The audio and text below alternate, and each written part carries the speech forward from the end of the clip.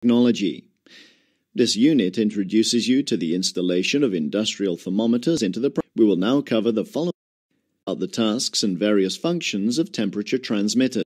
First of all, let's take a look at the installation of thermometers in pipelines and then familiarize ourselves with the special considerations when installing in steam pipelines. We will then discuss the installation of thermometers in tanks and in flue gas lines. Finally, we will take a look at the different temperature transmitters and learn more about the tasks and various functions of temperature transmitters. To finish up, we will then once again briefly summarize the subject matter discussed in the last three units. For measuring the temperature in pipelines, supports are welded in to hold the thermometer. In order to properly record the temperature of the medium as it goes through the sensor, there are a few principal things that we must take into account during installation. The insertion length can have an effect on the measuring accuracy of the sensors. If the insertion length is too short, errors can occur due to the low temperatures of the process medium near the wall and due to the heat transfer via the process connection. To rule out these sources of error, the insertion length L should be, when possible, long enough for the sensor tip to reach the middle line of the pipe for pipes with small diameters. Otherwise, the insertion length L should be greater or at least equal to half of the pipe diameter D2 plus the length of the installation support. In all cases, the insertion length must be at least 8 times the diameter of the sensor plus the length of the installation support. In addition, installation diagonally against the direction of flow or in a corner piece is preferred, as the flow into the sensor is then advantageous. For larger pipe diameters, vertical installation is possible, but ensure that flow-induced vortices do not cause the thermowell to vibrate in its Thermometer assemblies in steam pipelines are exposed to particularly high loads. Water that gets carried along and the formation of condensation lead to sudden changes in the load situation. That is why the fittings for steam applications are deep hole drilled, exclusively from bar stock and conically shaped. In the case of thin walled pipes, a connection piece is first added and the thermowell is then welded into it. The fitting is directly welded into thick walled pipes, wall thickness greater than 35 mm.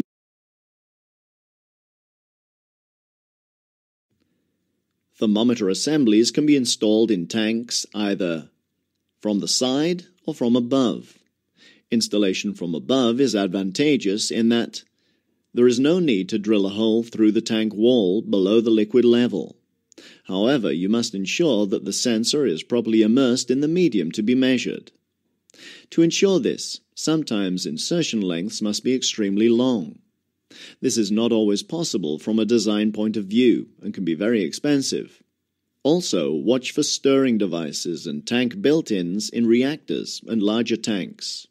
Internally coated tanks are generally only equipped with Gas-tight threaded sleeves are used to install thermometers in flue gas channels. The thermowell can be made of heat-resistant steel and as we've already seen, it's necessary to have a lot of information about the medium to be measured, the process itself, and the basic conditions of measurement in order to properly design a temperature measuring point.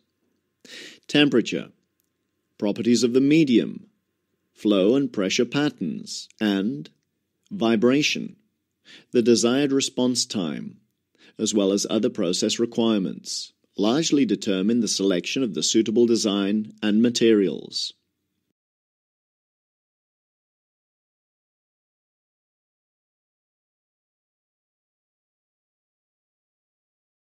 Temperature transmitters. In practice, various types of temperature transmitters are used. The following section will give us an overview of the common types of temperature transmitters, and we will take a closer look at their functions.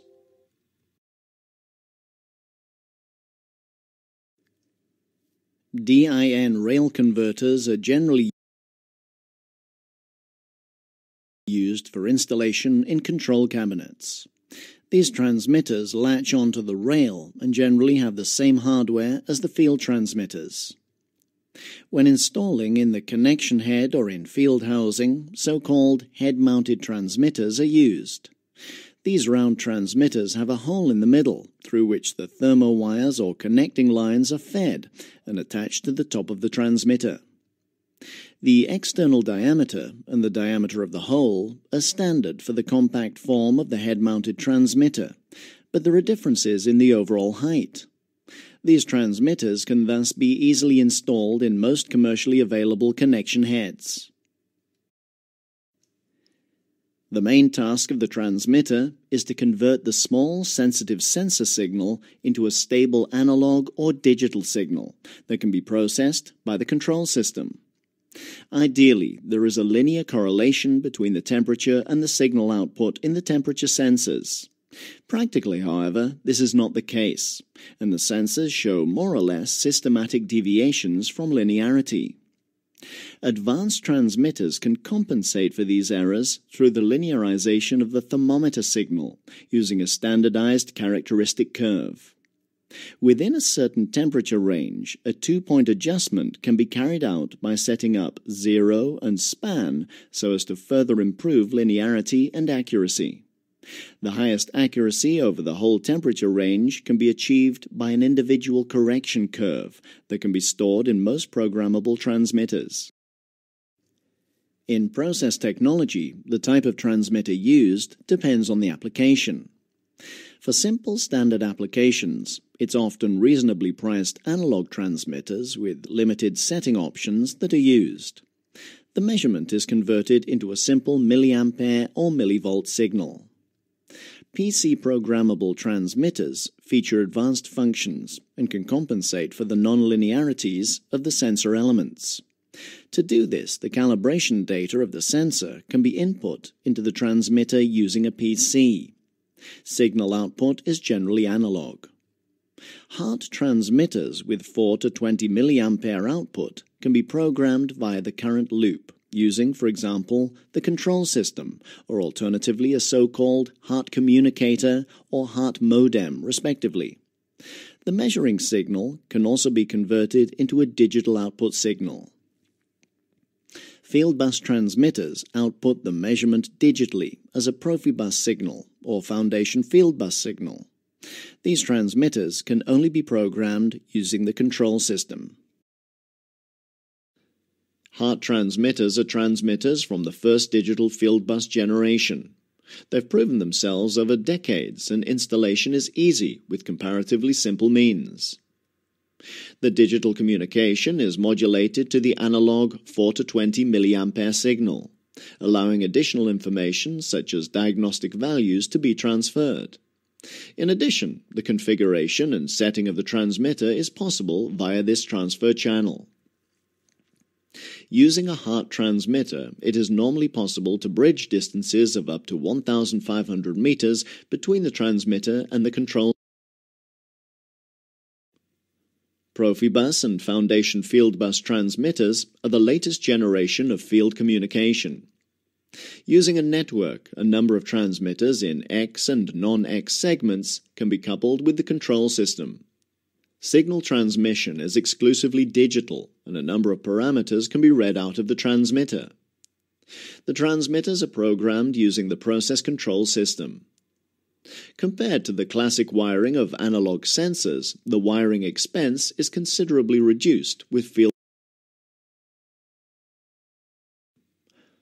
If temperature transmitters are used that are not galvanically isolated, a ground loop can be created as shown here in orange.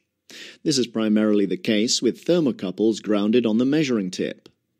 An additional current flows, shown as IERR in the figure, creating a loss of voltage in the measuring circuit and resulting in a measuring error. The problem of the ground loop is easy and effectively solved by using a galvanically isolated transmitter. This cuts through the ground loop and provides this principle is also easily applied to resistance thermometers in 2, 3, and 4 wire connections. The galvanically isolated transmitter interrupts any possible ground loop and prevents distortion of measuring results. Occasionally occurring surges in plants can destroy temperature transmitters and any equipment connected to them. It is thus a very good idea to use an isolated transmitter that guarantees sufficient surge protection. All of the subsequently connected devices are then better protected from damage caused by electrical surges.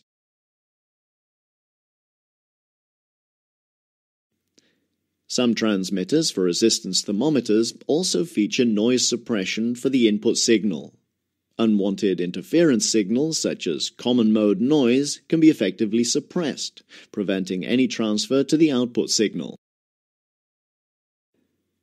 There is a function for thermocouples that is comparable to the noise suppression function for resistance thermometers. Noise suppression is especially useful in the case of grounded measuring inserts, as otherwise incorrect measure. In this unit, we learned about the three types of instrumentation for thermometer measuring points.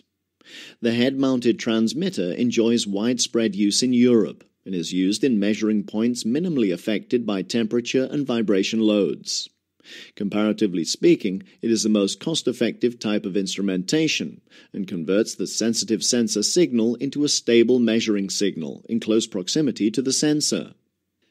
The field transmitter is found mainly in the American instrumentation sector. It is also the preferred type of instrumentation for measuring points exposed to high temperatures and strong vibrations.